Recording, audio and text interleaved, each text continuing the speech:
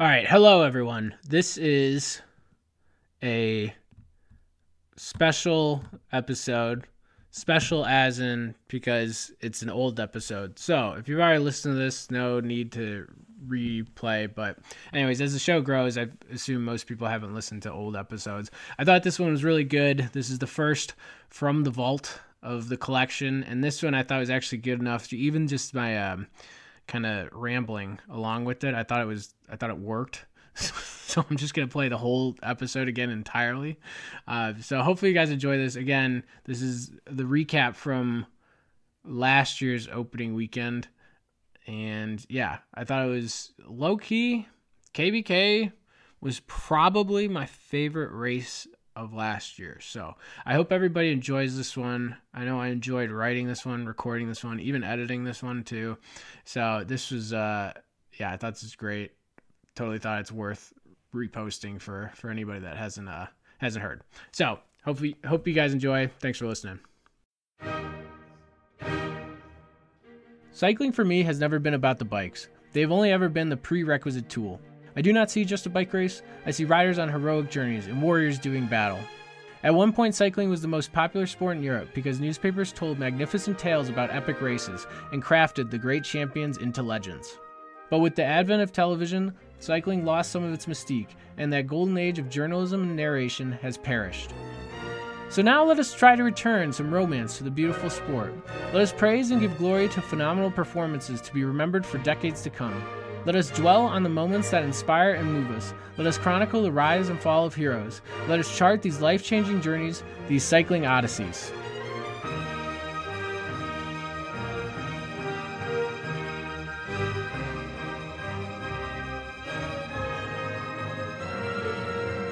All right, welcome back to another episode of Cycling Odysseys. I'm your host, Patrick Santino. Okay, we're recapping opening weekend today. oh my gosh. It was hilariously unbelievable. This is why you have to watch every race in cycling just in case it's one of the great races that you don't want to miss. You rue the day when you miss Kuurne Brussels Kuurne this weekend. As you're about to hear. Seriously, I, if you didn't see Omloop, usually that's the one to more more so watch than Kuurne. But this this year Kuurne blew it out of the water, and that's pretty unbelievable because Omloop was also unbelievable itself. Uh, I don't want to spoil anything until I get into it here with the the main part of the show. It's also really long today, so I, I actually got I I angled it so that I could give it the full treatment with this uh, with this piece coming up. But if you didn't see Omloop, it's still worth a watch. But Kuurne, if you only have time, watch Kuurne. You're fair warned that I'm I'm about to spoil the whole thing for you here. So highly recommend watching that if you haven't. That was a we're talking very close to a 10 out of 10 race, and I don't say that lightly. So with that, let's jump into it. Let me give my thoughts on the whole thing, and then I'll wrap it up with a few more thoughts.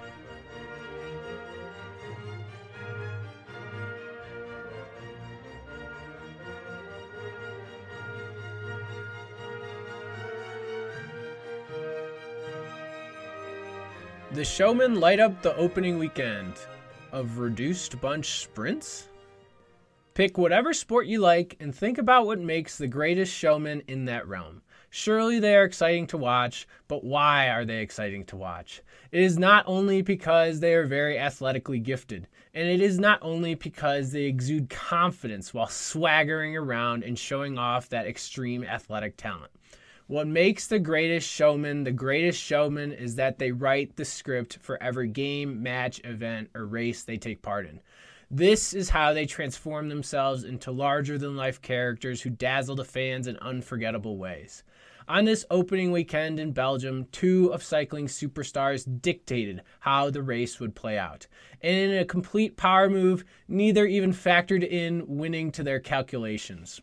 Omloop Het Nieuwsblad and Kuurne Brussels Kuurne are prestigious classics to win.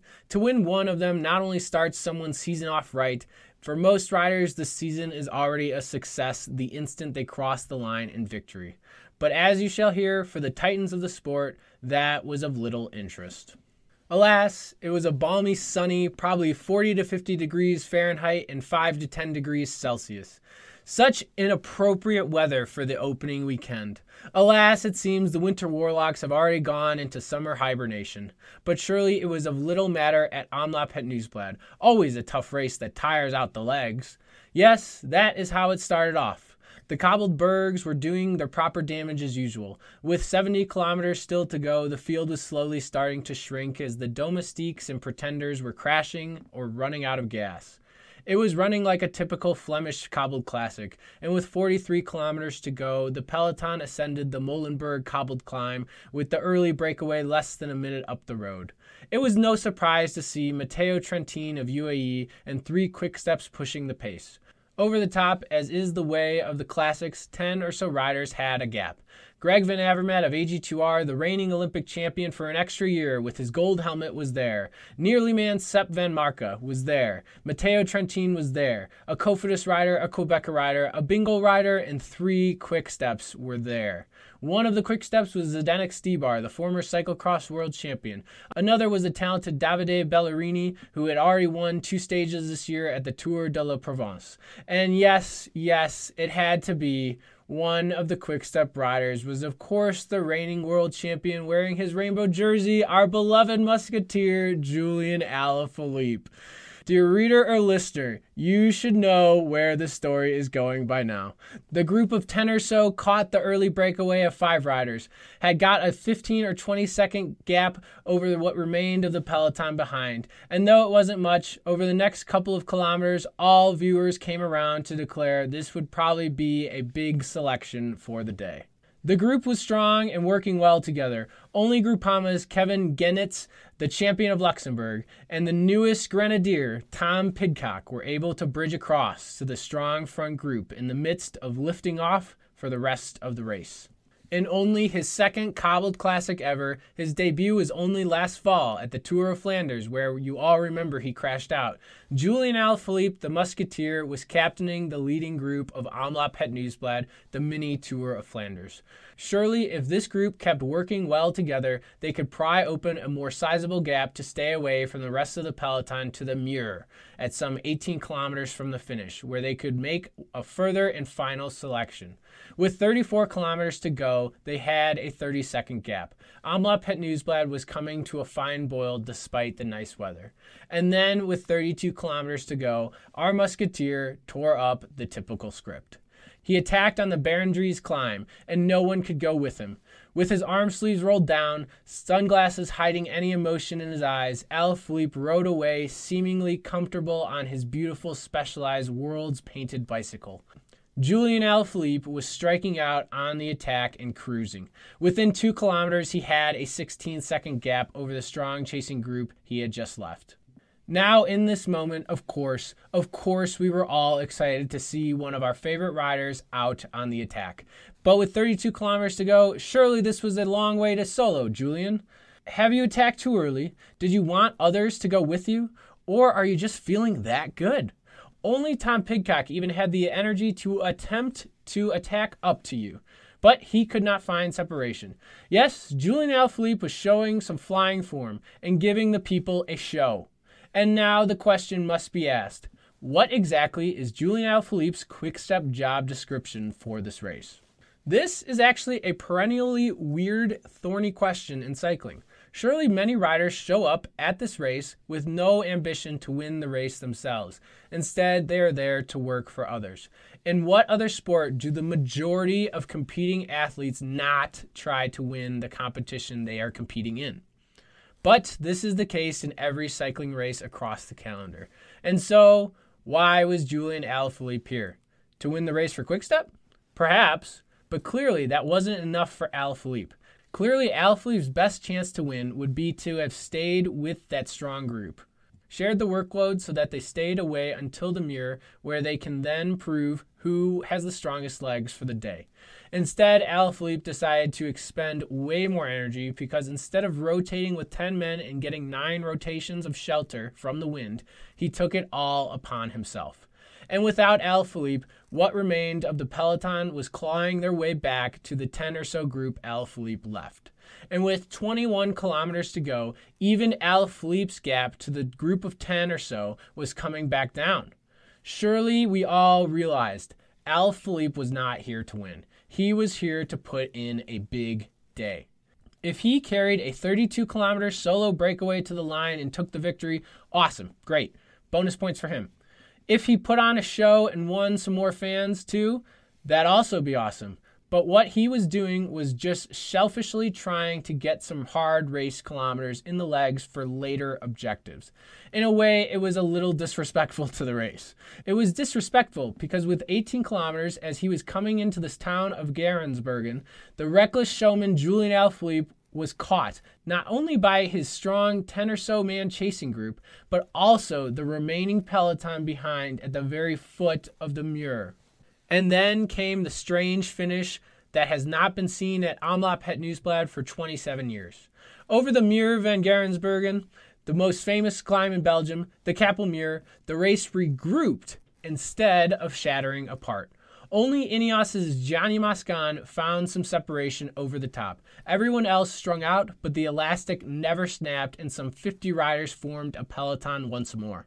And in a few kilometers' time, Moscon was caught at the top of the Bosberg, the final climb of the day. With 13 kilometers of net downhill left, it looked like Omloop Het Nieuwsblad, the mini tour of Flanders, would be decided in a 50 man sprint finish. Yes, this race has not ended in a bunch sprint for 27 years. At this point, Quickstep had the numbers and they were prepared to leave it to a sprint. They controlled the front and set a relentless pace that discouraged any attacks in order to keep the group together. And despite his showman antics already, Alaphilippe did his part for the team into the very last kilometer to help hold it together. And having already made the earlier selection and gotten his season off to a hot start with those two Provence stages and just having the contagious Quickstep winning ethos, Davide Ballerini finished off the day for Quickstep and manhandled the sprint where he won by four or five bike lengths. Julian Alaphilippe was the strongest rider in this race.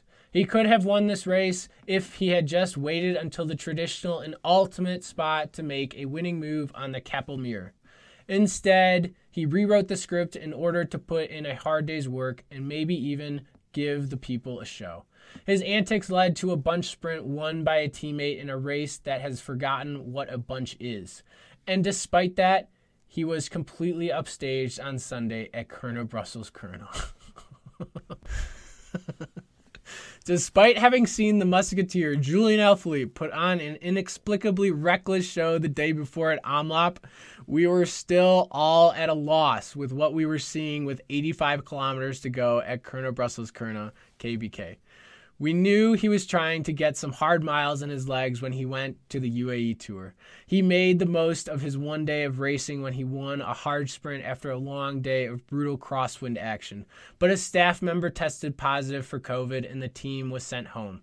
He did not start Omloop, but he became the favorite for Kuurne as soon as it was announced he'd be taking part. We all figured surely he has the quality and talent to be there in the sprint at the end. He'll have the endurance to do a good finish and might even be the fastest guy here on paper outright, anyways. But still, all of us were scratching our heads as we saw Matthew van der Poel of Alpecin Fenix, reigning and four times the cyclocross world champion on the attack on one of the little climbs with the Ecuadorian grenadier Jonathan Narvaez, who had won a hilly stage of the Giro d'Italia last year as the only man that even bothered to link up with him. There were eight or so riders three minutes up the road comprising the early break of the day. What the hell was van der Poel playing at, trying to bridge up to them? The broadcast had not even started but 10 minutes ago. What was the plan here? Truly, I recall my thoughts in the moment. What the hell is he doing? What an idiot. I could understand if he wanted to try this long range crab with 50 kilometers to go. From there, I'd give him a chance, but this is too far. This is dumb and upsetting because I want to see him actually take a shot at winning. He's just ruining his chances to win at this point. And then I paused and thought for a moment. Subconsciously, I had just learned the lesson Alaphilippe had taught us yesterday about showmanship and putting in a big day. I did not consciously know it yet, but I did verbally say, Eh, whatever. Let's have some fun with it. Let's see what he can do. So, before we go on about how van der Poel tears up the script of this race, let's praise another player. Not only was I surprised to see Jonathan Narvaez on the attack with van der Poel, I was surprised to see him in the race. Ecuador is a country that gets its name because it sits on the equator a place known for tropical weather and sun. And furthermore, the Ecuadorians are to the Colombians like the Canadians or Kiwis are to the Americans or Australians. The Colombians and the rest of the South Americans are mostly known for their climbing prowess and have zero results to speak of in the cobbled classics. What are they supposed to know of racing in the harsh north of Belgium? Now, the stage of the Giro Narvaez won last year was horrendous with biblical amounts of rain. But still, this morning, if I had looked over Ineos's lineup, I would have assumed they had one spot left and they made all the South American climbers draw straws to see who would be stuck filling it. And Narvaez had drawn the shortest straw. But here he was, riding with Matthew van der Poel in his Dutch champions jersey, inexplicably trying to bridge a three minute gap to the early breakaway of the day with 85 kilometers to go. What was going through Narvaez's head as he rode on with this oh so talented one? Did the Ineos DS in the car say, Oh, Johnny, make sure our team's represented in any moves that go up the road here? That is actually a logical thought in theory, but the two man composition of chasers had nothing logical about it in practice. The tall, big shouldered Dutch race favorite and a small South American climber made for such a strange pairing, and I absolutely loved it. Van der Poel literally looked like Achilles, a giant among men on the battlefield, and Narvaez today looked like his trusty aide and friend Patroclus wingmanning his captain on a new adventure. Van der Poel could not even get a proper draft off him. But if Julian Alaphilippe had taught us anything from yesterday, van der Poel didn't care about getting a draft today. Yes, he'd like to win, and he would try.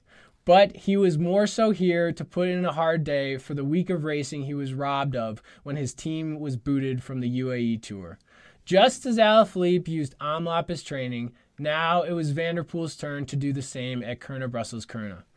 The only, only other explanation I can think of for this ludicrous scene is the most outlandish of all, and yet there is definitely truth to it. Apparently, in the past, van der Poel has had a problem of getting too bored in long road races before things heat up in the exciting finales.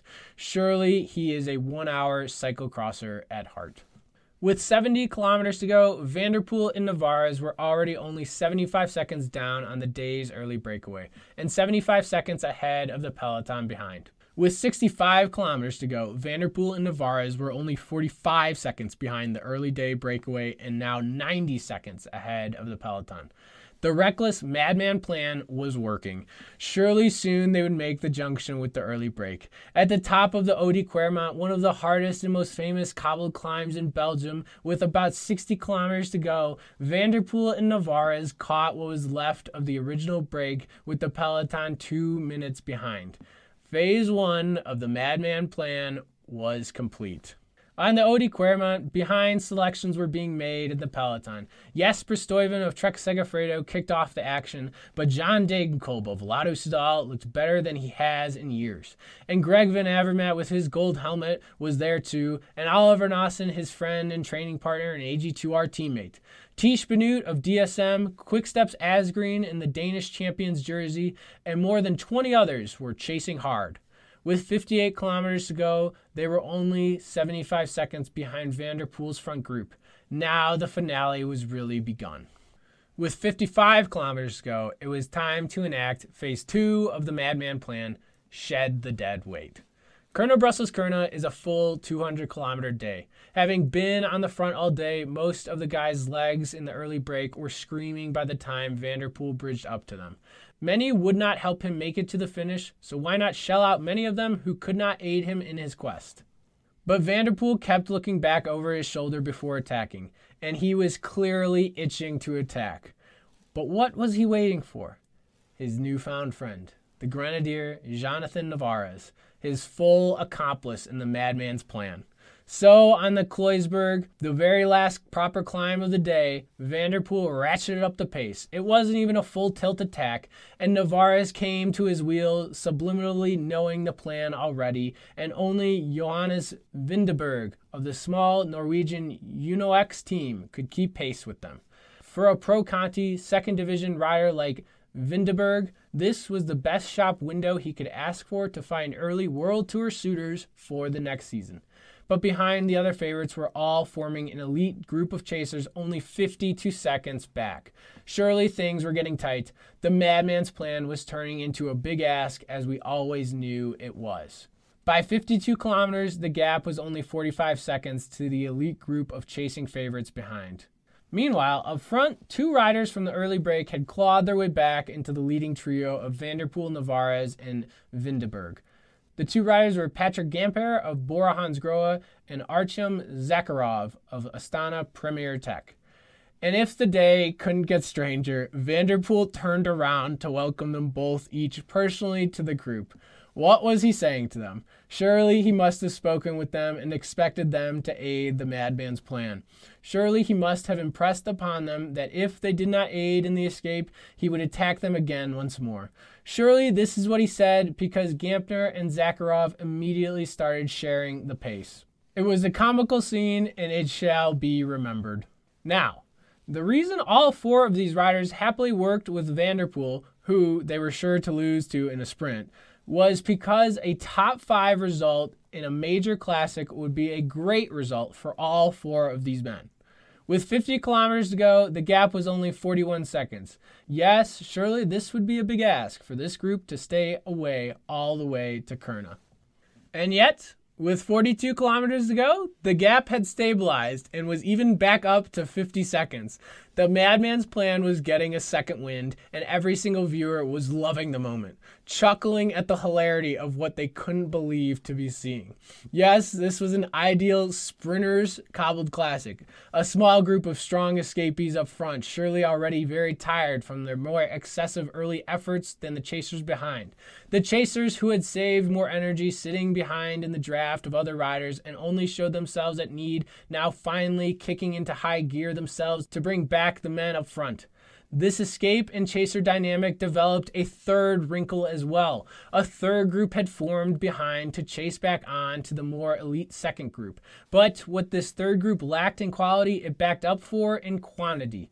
Surely it lacked in quality for the strongest men besides van der Poel were in the second group on the road, having proven the strongest over the climbs where the peloton broke up. And then the bane of pelotons in Belgium hit. The Quantius third group was ravaged by crosswinds over an exposed field, whittling it down into only the most elite men of that group. Yes, it is days like these where the classics receive their name. This continued for some time. van der Poel and his loyal four, the main favorites in a group of 20 or so behind, and a third group of 10 or 15 more minor favorites and top domestiques in a third group who had not yet given up the fight. With 25 kilometers to go, van der Poel's leading five had a tenuous 23 second gap over the second group and only a 53 second gap over the third. Surely this was the definition of a finely balanced race if ever there was one. Touch and go, we say, touch and go. Even that third group was not out of it. If they could catch the second group, the two groups would about double in size and thus potentially double in firepower to bring back the mighty van der Poel and his makeshift teammates up front. Touch and go. Truly, it was touch and go. It is races like these that need to be shown to the people who understand nothing about cycling. It is races like these that showcase the sport well, and we can be thankful for mighty ones like Julian Alaphilippe and Matthew van der Poel who have a knack of providing us with such spectacles. We all remember van der Poel's 2019 Amstel Gold finish. It was engraved in the heart of every cycling fan. On the road, he punched his ticket into the club all the way back then. But it wasn't really until today that he finally received the key card in his mailbox after two years of them getting lost in the mail. The key card to the Makes Your Day Club. Surely it took so long to arrive because van der Poel has the pesky caveat that it is only every one of his road wins that makes our day. the key card does not work whenever he wins a minor non round triple digit cross race. But here we are, reveling in the beauty of bike racing as Matthew van der Poel, one of the sport's greatest showmen, spoiled us by putting his talents to more entertaining than strategically reasonable uses. They rode through the city streets of Kortrijk, signifying they were close to the finishing line. But of course, as tradition in this race, there would be one pass through the finish before a final lap of 16 kilometers. And the finely balanced race became much more interesting when finally, with 17 kilometers to go, the third chasing group got within a stone's throw of the second group. And then in the second group, Greg Van Avermaet, the Olympic champion, made that third group work for the junction by putting in a surge on the front to keep his second group away, make the third group do the maximum work to catch back on. Meanwhile, with 16 kilometers to go, Vanderpool and his leading group passed through the finish line to begin the final lap. But with Van Avermaet's surge, the gap between the first and second groups was only some 10 seconds, 12 at most. I kid you not. Though the last kilometers seemed to be on the quiet suburban or village roads of Kuurne, the final lap would take the riders back into the city streets of Kortrijk before rounding back to the finish line they had just crossed in Kuurne. 10 seconds. Van der Poel and companions nervously kept looking over their shoulders and could see the shades of the sunglasses of the chasers behind. And yet still they did not give in, like the Trojans who did not lay down their arms. Yes, still the five kept the good cooperation. A top five would be a great result for these four assisting van der Poel. And meanwhile, behind, the beautiful game theory equalizer in bike racing was taking place to string out the suspense. No one in that second chasing group wanted to be the man to spend the last bit of energy to finally catch the leading five. Leave it to someone else. Yes, game theory, a prisoner's dilemma. No one does the final chasing because it would benefit all, but hinder the one to do the final chasing. And while that second group was being cagey about finishing off the job, that third group behind finally caught on and swelled their ranks with 11 kilometers to go. And thus the complexion was changed once more. Van der Poel and his four men in the lead, with a now group of some 40 strong, only 10 seconds behind. And yet, they were weaving right and left on the city streets of Kortrijk. No longer were the groups on the same straight stretch of road, and with 8 kilometers to go, by Jove, the gap of the two groups was up to 17 seconds. The Kortrijk city streets were giving this madman plan its fifth or sixth live of the day. Was Van der Poel about to go two for two in road races he's attended this season? Was he about to follow up his UAE Crosswinds win with a Belgian classic that no one thought he would even attend a week later? He was getting lucky because behind, the now big group had no cohesion and could not mount the chase. But the final roads were suburban and village straight wide boulevards. Even a few sections of open space were exposed to the dangerous crosswinds. Still, with six kilometers to go, the gap was 22 seconds. Van Matthew Poel, Mathieu van der Poel, was about to pull off another Classics win fully deserving of the name. Oh, it was too good to be true. And thus, yes, the madman plan was all too good to be true. With four kilometers to go, the gap was still 20 seconds, but then the attacks finally came from the large chasing group. Groupama's Stefan Kung, Bahrain's Haussler, and Quickstep's Asgreen ripped off and launched Cape Canaveral rocket attacks. No one could get separation, but they ate up Van der Poel's and his group's 20 second gap. Attack after attack led to their downfall. With 1.5 kilometers to go, the hilarious Madman plan came to an end as van der Poel and his group was caught. But there was no time for handshakes with his new friends to commemorate a good try. van der Poel slotted right into the chasing pack, ready to try his hand in the sprint despite being out in the wind for some 80 kilometers already. I say this with the most admiration possible. Could we expect nothing less from this man? Surely any that had seen 2019 Amstel Gold even knew we could not count him out to pull off this tallest of order sprints. He slotted in for the last K and had to hope it just opened back up for him. They took the last turn. Whatever leadout men were left came to the front.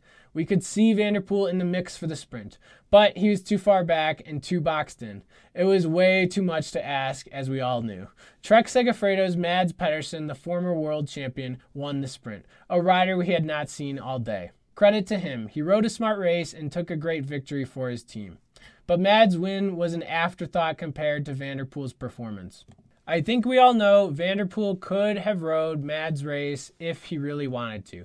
But van der Poel rewrote the script so extensively today, we didn't even care about the winner. This was a race that put a smile on our faces that will not fade for three or four days because we couldn't believe the hilarious madman plan Matthew van der Poel and his unexpected accomplice Jonathan Narvaez came within a mile of pulling off. It was impressive and beloved. It is another anecdotal proof of why we always watch cycling. When you have superstars like Julian Alaphilippe the Musketeer or Mathieu van der Poel the Madman in the race, you never know what antics and heroics they might strum up. Yes, I said at the start, on this opening weekend, these two showmen were bold enough to not even make winning their top priority. Both got in a hard day's racing to serve them better for bigger objectives to come, and we got another story thread to add to the sagas of these living legends' careers. And these are the tales that shall make us chuckle for days and years to come as we look back on their outlandish unbelievability.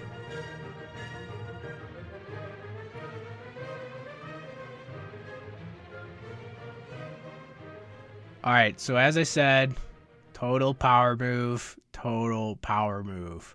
Julian Alaphilippe and Mathieu van der Poel did not actually care about opening weekend enough that they wanted to win. They would rather just put in a good day's racing than win Omloop Het Nieuwsblad, Kuurne versus Kuurne. Oh my gosh. Like, Kuurne, I can mildly understand for van der Poel, but I don't know what Alaphilippe was thinking. He could have left it to the Muur, and then he could have definitely won. Omloop Het Nieuwsblad. But he clearly wasn't there, and he had confidence in his teammate. Which that Davide Ballerini, I gotta say, that guy, he's a stud. Because he made that select group that Alaphilippe kind of formed with Matteo Trentin uh, with 42 kilometers to go. He made that group, you know, and it's like, oh, I thought this guy was kind of like a Álvaro Hodeg kind of sprinter that they got. But no, I mean, like, he can sprint, and I mean, yeah, he can get over a climb in the cobbles. That guy man, Italy with him, Ganna, I mean, they're talking about other youngsters that are going to be like Grand Tour talents. It's like Italy, yeah, they're having a rise of a new generation potentially, because I mean that Ballerini, he owned that sprint too. He owned that sprint, but you know the highlighted day was actually Julian Alaphilippe just throwing away the script to have that day end in a sprint for the first time in 27 years. You know, so like anybody that's new that listened to my uh, description of Omloop Het Nieuwsblad, they probably think I sound like an idiot and that, you know, this race, oh, this, you know, Patrick just got this wrong. He's leading me wrong. You know, it's like, uh, you could be right that I have foolish aspects and everything, but it's not because I expect Omloop Het Nieuwsblad to end in a very small group sprinting it out.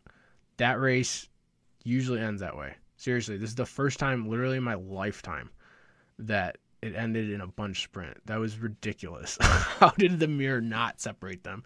You know why? It's because of the good weather. I said we want crappy weather here. I said it. This is why. This is the, usually it's the crappy weather that actually gives people a chance at Kuurne, and then van der Poel just rewrote the script of that one too. Uh, so yeah, I mean, I don't know. I I talked about them both, but the van der Poel, that's the ultimate compliment that you can pay to a race. Is that for the next literally three or four days, I'm gonna have a smile just thinking, man, van der Poel almost went Kuurne Brussels Kuurne with an 85 kilometer attack with Jhonatan Narvaez. like, what was he doing? How did that almost work? They came within a mile of making it work. That's hilarious. How? D- what are they doing?